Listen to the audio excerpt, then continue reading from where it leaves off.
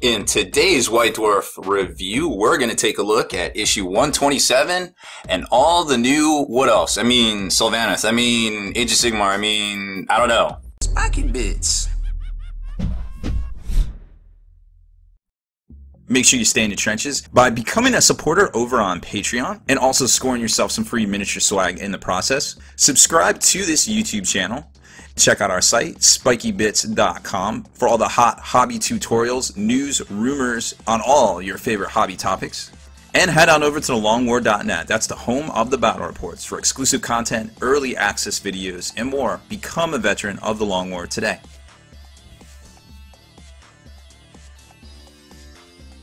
Welcome back, Hobby Maniacs. Rob Baer here with the White Dwarf 127 review, of course.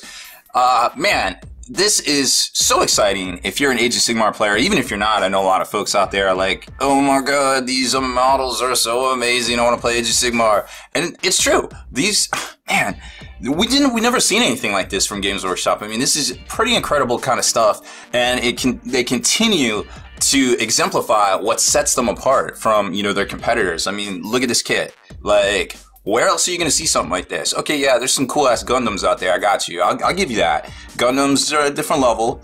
Uh, I feel like, and you know, there's some dope ass resin stuff out there from some uh, other manufacturers, you know, but nothing to this this grandiose scale right here. I feel like, you know, like you just you just can't really compete with this. I mean, this is incredible looking, and I can't just get that uh, get that song out of my head, that Black Betty song, because they uh, that Super Bowl ad where it was like that Black Beetle running along, and then it was a Volkswagen ad. But I don't know, every time I see it, it just like runs through my head. So thanks Volkswagen, you're the worst.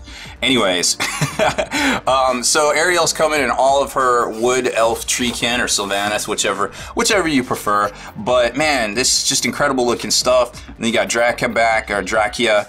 Um, she's pretty dope looking, kind of little uh, Dread Knight kind of looking thing. I'm I'm digging it.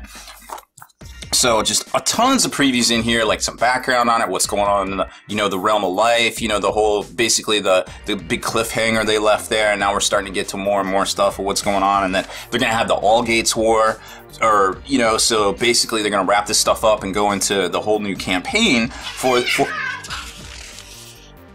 well, I, I don't think they're Wood Elf players, but, uh, maybe they're, maybe they're fighting over the, the All Gates, uh, cat uh, cat bed in there or something. I don't even know. I swear I just need to put them in the other room. But then they just scratch on the door the whole time. And, well, that's why we can't have nice things. Anyways, so moving on, we got Ariel. She's pretty dope. I really like the beetle mount. I mean, she doesn't have her her cool ass like butterfly wings from back in the day, but she has some pretty dope wings none, nonetheless. Right there. I mean, let's face it, butterfly wings. Eh, I don't know. I don't know if it has a place in in, in fantasy or in uh, Age of Sigmar, but I, I, think they did a good job with that right there. And then they got the the beetle with all sorts of. It doesn't have skulls all over it, but it's got them got them shrooms and some moss and some little uh, little foily frilly thingies right there. So she's looking good. She's coming in at $130. The branch uh, Branchwraith, they're pretty cool looking. Um, I'm not really sure. Oh, that's a single. That's a single character there. And then we got Drakia or Dracha, however you pronounce her correctly. She's got the new, she's the new model in the Kurnoth Hunters, which kind of look like Orion in my opinion. Like I would love to see a new Orion miniature at some point uh, from them. Maybe that'll be some sort of like story arc in the in the future because they definitely kind of looking, they're looking like a cross between Orion, I guess, and maybe um maybe a little bit like the uh, the big the big tree elf guys, but man, they're just styled really cool, and I like them. They're the little elite kind of level troops there, and they're clocking in at uh, sixty dollars, I believe. And it looks like you can make them with swords, a couple different varieties of, uh, of weapons as well, and then the tree revenants, which really remind me of the Dark Eldar, the little um, the shadow dudes that uh, that come out. The oh man, I forgot what they're called.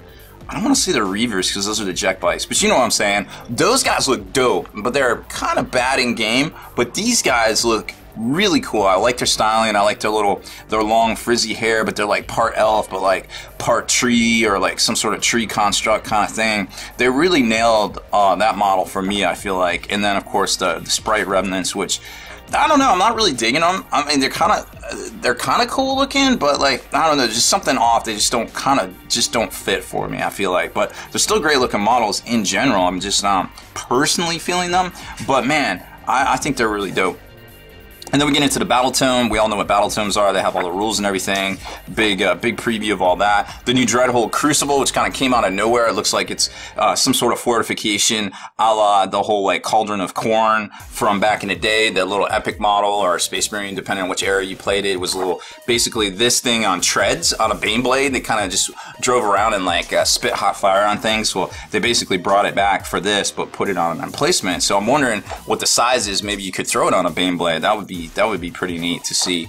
And then, uh, well, this is I think this is the Realm Gate War, the all uh, the All Gates saga here. So they're wrapping up all the Realm Gate Wars and then moving on, advancing the storyline into the new campaign stuff. Oh, and then there's the Sylvaneth dice, which look pretty dope because they're actually like wooden. So like, I imagine if they're wooden, they would roll pretty good because you're not going to have those like random resin air bubble pockets inside of them or something. But I don't know. I could be wrong uh, there, but they seem pretty neat, like just in general, except for the the symbol is once again not on not on the six, so I don't know how I feel about that. I'm torn. They look so cool and the idea is so deep, but I want to see a six or I want to see the symbol for the six. Gosh, you guys, come on. Uh, Paint Splatter has returned for the first time in two weeks. Of course, to help you paint the new Wood Elves, and there's some dope ass paint schemes here. Some color combinations we haven't seen before, especially with the orcs, because this is more of like a like a pastel kind of uh, kind of muted kind of thing that we hadn't seen in the past. So that's really cool to see to help uh, folks kind of um, you know paint up their new models. And I'm sure we're going to see these throughout the next couple of weeks because this is only one version here uh, for the tree revenants, right? And then it gets into more and more stuff, but that's pretty much it. That uh, for content, as you know, as, as much as we want to see, you know, as far as uh, new models and also, I guess, um, the the previews and of all the new books and everything like that. So it's kind of a short White Dwarf in that regard. It's more more ads and stuff as we're slowly counting down. Uh, getting into uh, finally hitting the the White Dwarf as it returns to monthly here in September. It looks like so they're still they're still doing their due diligence here. They're still working on stuff. And uh, well, here's the little thing right here: the Ultimate uh, White Dwarf. You know, changes coming and coming in September. So they have a little preview right here without too much, but supposedly it's going to be you know, 166 bucks, or, or, excuse me, 166 pages. And if you reserve your one year subscription now, you get it for $6.66, at least in the US here. So that'll be really neat to see. So I think another good quality issue um, in that regard, but. Uh, you know, as we count down to the, the whole dropping of the Age of Sigmar. Oh, and the teaser right here. Well, this is really interesting, right? Because we've seen in the past like month, for instance, right? There's been all these teasers, and people are like, you read it, and then you're just like, oh, okay, that doesn't mean anything. That's innocuous. It'll just be like a feature that's in the next White Dwarf. Well, there was a bunch of them like create expectations and pointy ears and look to the skies and all that stuff. And the next week, you know, we start seeing the new White Dwarf, and those are actually new models coming out. You know, the armored containers. Then we had the new Flyer, the Stormcloud attack box set.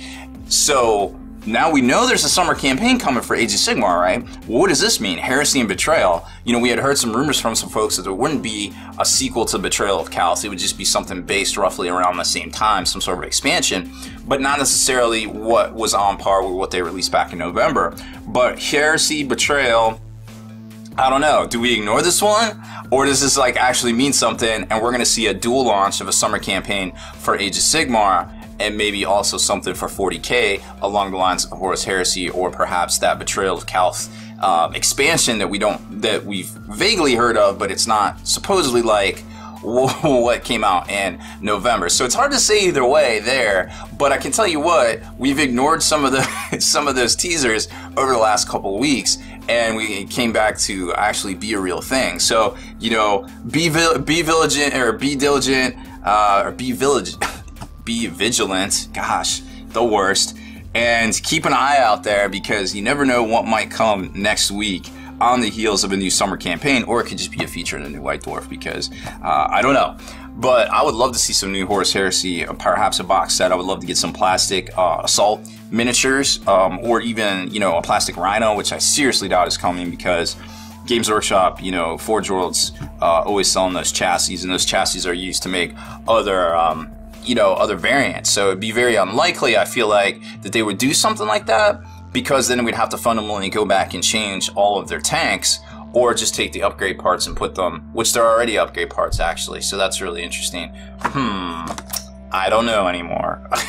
so there's potential there, but I don't actually expect them to do it. But I would like to see some new troops, some assault squads or something like that. But I'm not exactly sure. Um, maybe some breachers, plastic breachers would be dope. But you know, again, there, um, there's not that might not be enough to make a whole box set out of or something like that. So we're hearing a lot of things out there. You know, keep keep your eyes peeled to uh, the Spikey Bits uh, news network over there. And you know, as soon as we hear something, we'll definitely pop pop it up, post it up, let everybody know because it's going to be an exciting time for both game systems. Hopefully, coming out here soon in July.